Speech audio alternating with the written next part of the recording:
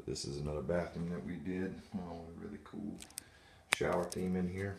Um, this was a tub that went across, um, and then uh, so we pulled out the tub and in the exact space that most tubs are, um, uh, five feet. Um, so you figure, know, five foot tub. This is about the size of the shower that you get. We ran these gray tiles uh, on the brick pattern, and we did the double niche and took the deco strip and put it into the back of the niches here.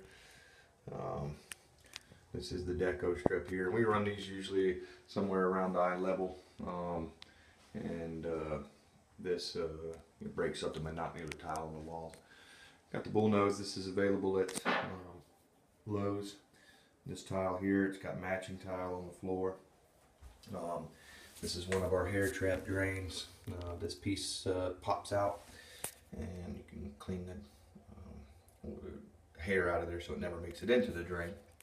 Uh, we even put the deco strip across the front of the bench uh, with the bull nose as well. This particular shower, we did not put any granite in here because it doesn't have any granite in, in the rest of the room yet. But um, it is a little cheaper to do it this way to put the um, a double bull nose on the front of the curb instead of having a granite ledge there and then we just use the bull nose in the um, niches as well. And normally we put the granite on top of the bench and we just can do it with the tile. Uh, it is a, a little cheaper version of the, of the same thing. Uh, they both accomplish the same. Now we are waiting on the shower doors to come in.